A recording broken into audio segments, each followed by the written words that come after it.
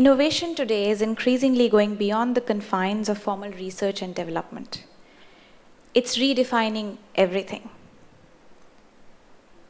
It's being seen as a means of creating sustainable and cost effective solutions for people at the bottom of the pyramid. Our next speaker wears many hats that of an innovator, an inventor, an entrepreneur, advisor to governments, and green thinker. He holds close to a hundred worldwide patents and has published and lectured widely, widely across the globe. He has recently been appointed the founding commissioner of the UN, Nation, of the UN Broadband Commission for Digital Development and is chairman of the National Innovation Council set up by the Prime Minister of India. He is credited with having laid the foundation of India's technology and telecommunications revolution way back in the 1980s. And he is befittingly joining us over video conference from Chicago, the USA. Ladies and gentlemen, please welcome Mr. Sam Pitroda.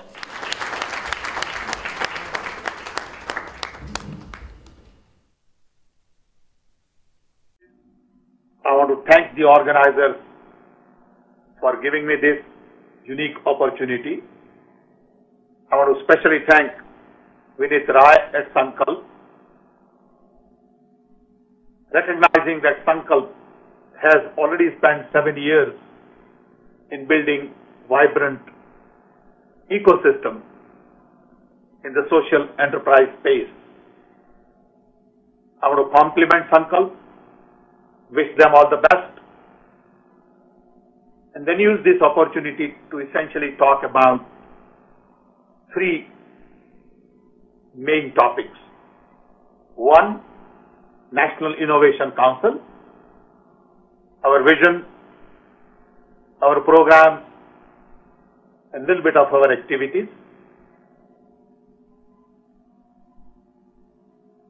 Talk about the Innovation Fund that we are trying to set up and see how that will help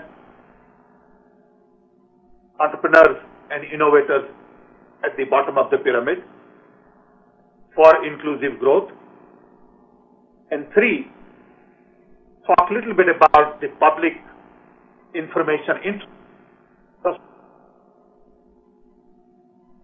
with focus on connecting 250,000 panchayats to broadband and what it would really mean to the entrepreneurs and innovators in rural India.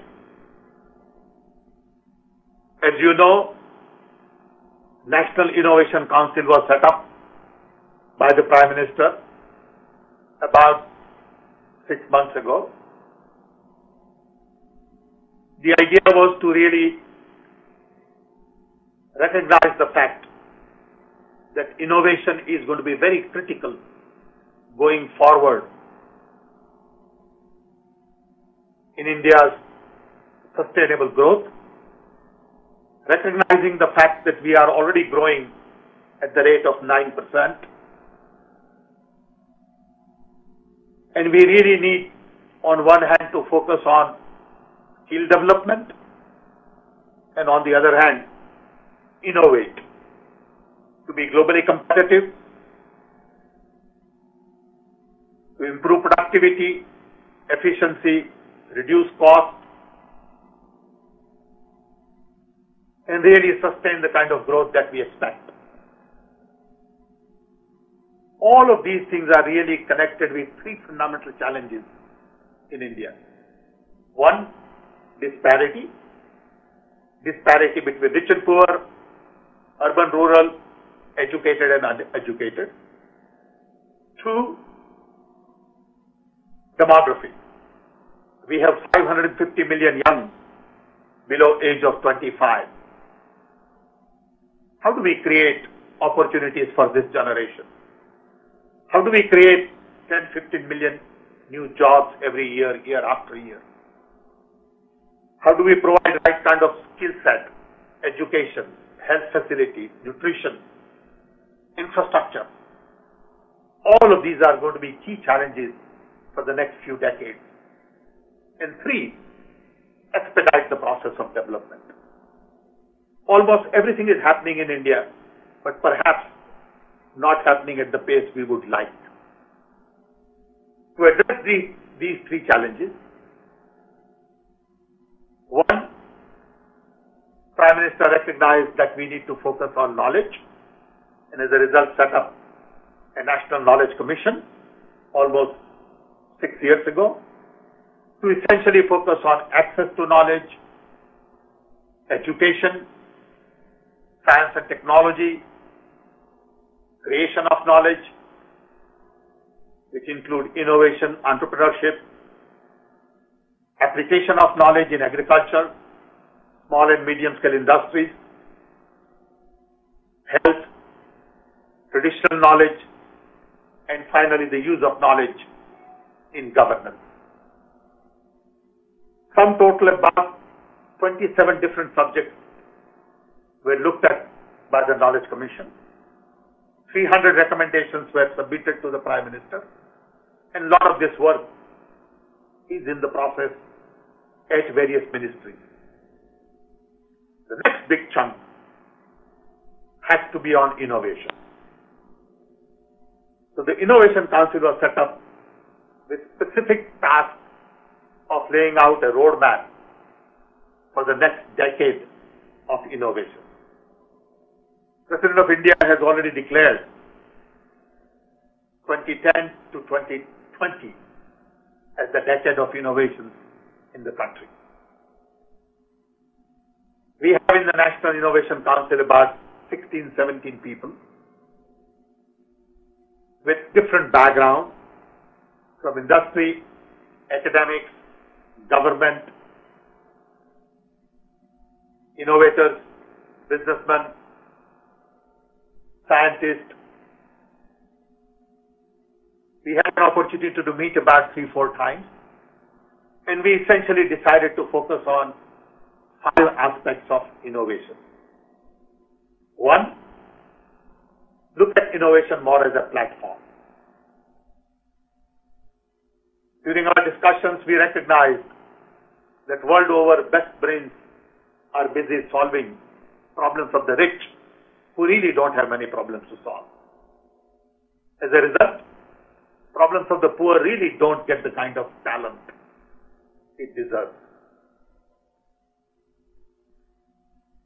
So we decided that we need to focus on innovation as a platform. Recognize that innovation doesn't take place just in science and technology laboratories. We need innovations in government, social sector, education, health, and many other areas. Two, we felt that we ought to focus on innovations at the bottom of the pyramid for inclusive growth, which would demand clear focus on access, affordability, and sustainability. Three, we realize that we need to create right kind of ecosystem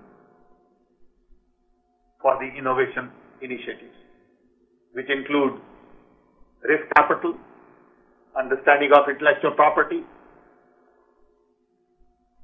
looking at various clusters in the country, see how we can improve interface between universities, industries, and our scientific labs, creating right kind of network of people, institutions, and providing digital connectivity as part of the ecosystem. Then we realized that we also need to define proper drivers such as affordability, such as durability versus disposability. And finally, we need to create discourse on innovation so people begin to ask questions about everything we do today. Only through questions we'll be able to think outside the box. So when we decided to focus on these five areas, we realized that we need to come up with actionable programs. As a result, we wrote to all the chief ministers to see if they would set up state level innovation councils. Because each state has their own core competence. Then we have written to all of the ministers to set up sectorial councils. We want to set up about 100 sectorial councils on biotech, nanotech, agriculture, wireless communication, cancer.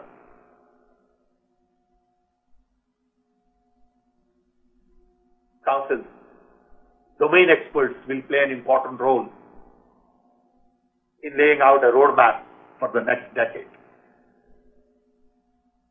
Similarly, we have identified 50 different industry clusters in the country with the help of CII, industry group, and FICCI. These clusters focus on activities like textile, pharmaceuticals, leather industry, diamond. In each of these clusters, we have a large number of industries, predominantly small and medium scale, and most of these people haven't had chance to focus on innovations. So we really want to seed innovations, connect them with the right university research program, provide incubators in a box, educate them on patents, copyright, trademarks, create ecosystem for innovation at these clusters. The key initiative that we have been working on for last three, four months relates to creating a billion dollar innovation fund for inclusive growth. Essentially focusing on bottom of the pyramid kind of activities. This fund would be initially using the government capital, very little, it will bring in private and institutional money. And our goal right now is to really create four clusters, north, south, east, west. Put in teams in these four clusters, give them specific funds, create certain interfaces, ecosystem, capabilities, processes, teams, and then see how we begin to use this fund. Maybe some areas will use more than others. We'll also create little competition. And the idea is to seed lot many more entrepreneurs with innovative ideas to build businesses. We realize that small businesses have lot to learn have a lot to learn about good business practices, ethical business practices. They need to learn to keep their accounts properly, be honest, transparent, open, understand the rules of the game, pay their taxes,